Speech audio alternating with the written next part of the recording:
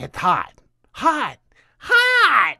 And so are the savings at all nine huge locations of Lynn's Mill stores.